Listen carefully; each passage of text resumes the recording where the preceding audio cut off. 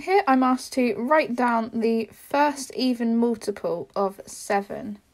And this question's simply worth one mark, so we're just asked to write it down. There's not going to be any calculation really involved here.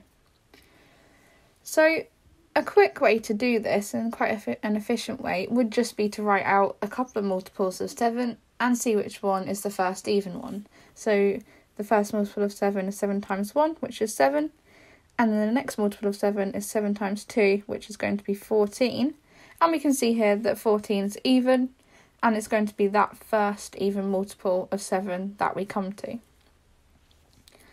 A way of looking at this is we have 14, which is going to be 7 multiplied by 2, and 2 is even, and an even multiplied by an odd is going to get us an even, and we have 7 here, which is just 7 times 1, and that's going to obviously be odd here. So once we've multiplied 7 by an even number, the first even number that we multiply it by is going to be 2, and that's going to get us the first even multiple of 7. So that's going to be 14.